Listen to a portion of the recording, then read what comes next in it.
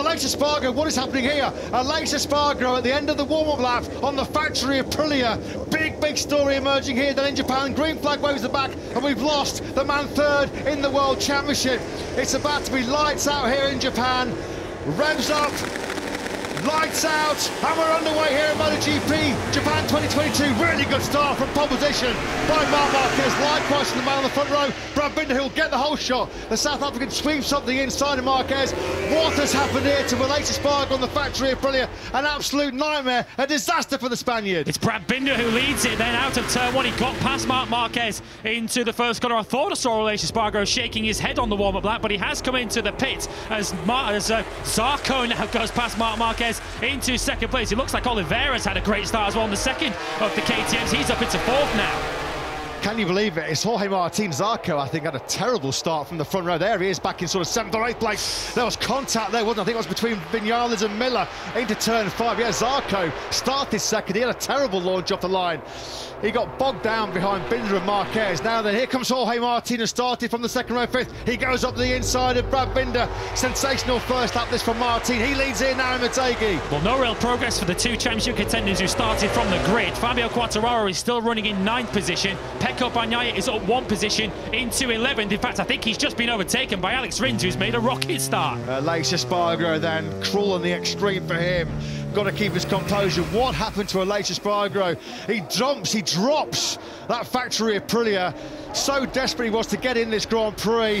What happened to Aleix Espargaro on that warm up? I'm sure Simon Crafar hot on the case, trying to find out exactly what was the issue. Look Jack Miller. Miller. Jack Miller getting aggressive. He picks up Oliveira and Marquez down into the 90 degree corner. Marc Marquez then gets he's pushed struggling. back from pole to fourth. Yeah, he's struggling in this opening lap of the Grand Prix because Oliveira is all over the back of him. A high drama, highly eventful opening lap of the Grand Prix. Martin will lead us, completing the first lap of 24 then from Binder, Miller, Marc Marquez and Oliveira. Vinales next up in sixth from Zarco and Marini.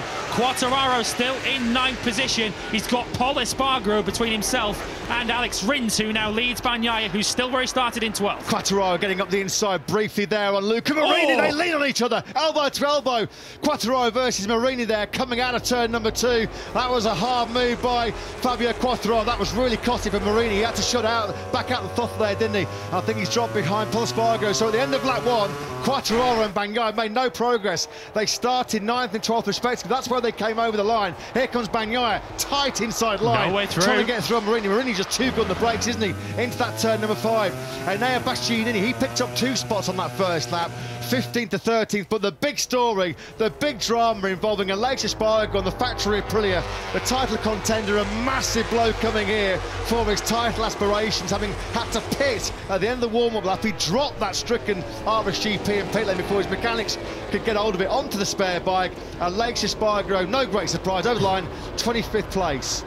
We're told there was an alarm going off on the bike and the mechanics don't know yet what the problem is. Simon Crafar is down there. Fabio Quartararo is having to defend a little bit there from Pol Espargaro. All of a sudden, he's got a bit of an opportunity now to extend that World Championship lead. He's got two bikes between himself and Pecco Bagnaia at the moment. But of course, this is the part of the lap where Miller. Quartararo needs to really break hard and stay in his position. Miller's gone for it on the inside. Jack Miller's been superb on the brakes down at that 90 degree corner, decelerating down the gearbox, four gears from six, just over 300 kilometers an hour uh, into the 90 degree corner. On the last lap, on the first lap, he got Oliveira and Marquez into that turn number 11. This time around, his victim is Brad Binder. Miller up into second.